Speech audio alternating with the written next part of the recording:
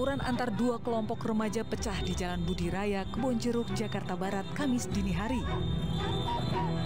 Para remaja ini membekali diri mereka dengan senjata tajam jenis parang dan celurit. Tidak ada polisi yang berpatroli saat tawuran berlangsung. Dengan geram, warga yang ada di lokasi langsung turun ke jalan dan membubarkan aksi tawuran ini. Nah itu pas tawuran kelompok mana sama kelompok mana Pak? Ya itu tadi anak kepak sama anak Kamu anak koplo. oh anak kepak sama gabungan sama anak kopro kata.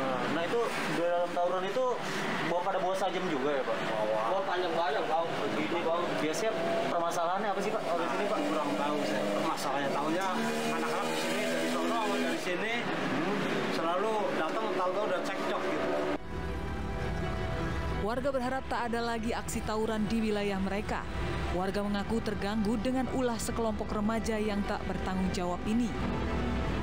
Dari Jakarta, Miftahul Gani, iNews melaporkan.